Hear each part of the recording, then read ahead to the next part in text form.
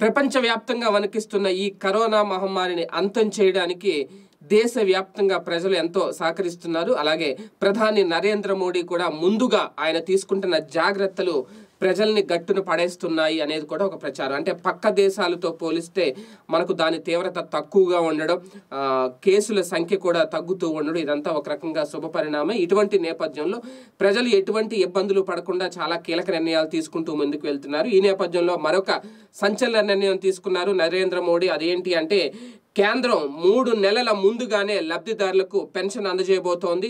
కేంద్రం తీసుకున్న తాజా నిర్ణయంతో సీనియర్ సిటిజన్లు అలాగే దివ్యాంగులు వితంతువులకు ప్రయోజనం కలగబోతోంది. కేంద్ర గ్రామీణాభివృద్ధి శాఖ దేశంలో దాదాపు మూడు కోట్ల మంది వితంతువులు అలాగే సీనియర్ సిటిజన్లు దివ్యాంగులకు జాతీయ సామాజిక చేయూత పథకం కింద నెలవారీ పింఛన్లను పంపిణీ చేస్తోంది.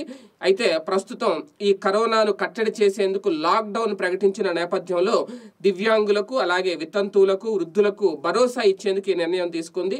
ఏప్రిల్ నెలలో వీరి బ్యాంకు ఖాతాలలో మూడు నెలల పెన్షన్ ఒకేసారి జమ కాబోతుంది. ప్రస్తుతం కేంద్రం అరవై నుంచి డెబ్బై తొమ్మిదేళ్ళ లోపు వితంతువులు అలాగే దివ్యాంగులకు మూడు వందల రూపాయలు అలాగే అరవై నుంచి డెబ్బై తొమ్మిది ఏళ్ళలోపు ఉన్న వృద్ధులకు రెండు వందల రూపాయలు పింఛన్ అందిస్తుంది.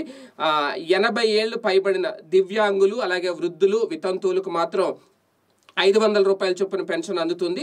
కేంద్రం తీసుకునే నిర్ణయంపై ప్రజలకు కూడా హర్షం వ్యక్తం అవుతుంది ఈ మీరు ఈ రెండు వందలు ఏంటి ఐదు వందలు ఏంటి ఆరు వందలు ఏంటి అని ఎవరికైనా అనుమానం రావచ్చు. ఇదేంటి ఇక్కడ రెండు వేలు ఇస్తున్నారు కదా మూడు వేలు ఇస్తున్నారు అని కేంద్రం నుంచి వచ్చేది నేను చెప్పాను. మిగిలిన రాష్ట్ర ప్రభుత్వాలు యాడ్ చేసి మనకు అందిస్తాయన్నమాట.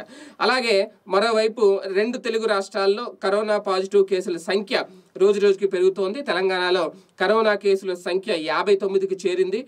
అలాగే ఏపీలో పదమూడుకి చేరింది. ఇప్పటి వరకు ఈ వార్త మీకు చెప్పే వరకు ప్రతిరోజు కొత్త కేసులు నమోదవుతూ ఉండడంతో ప్రజలు ఒక భయాందోళనకు అయితే- అయితే గురవుతున్నారు. విశాఖ అలాగే కృష్ణా జిల్లాల్లో అధిక సంఖ్యలో కేసులు నమోదు నమోదవుతున్నాయి. రాయలసీమలో కరోనా ప్రభావం తక్కువగానే ఉందని చెప్పాలి. ఇప్పటివరకు చిత్తూరు జిల్లాలోని శ్రీకాళహస్తిలో మాత్రమే ఒక్క కేసు నమోదైంది. మొత్తం మీద పింఛన్ల విషయంలో మూడు నెలల పింఛన్ ఒకేసారి అందివ్వాలని కేంద్ర ప్రభుత్వం తీసుకున్న నిర్ణయం అయితే హర్షించదగ్గది. ఈ వీడియో గనక మీకు నచ్చినట్లయితే లైక్ చేయండి షేర్ చేయండి. మరిన్ని వీడియోస్ కోసం మా ఛానల్ను సబ్స్క్రైబ్ చేయండి.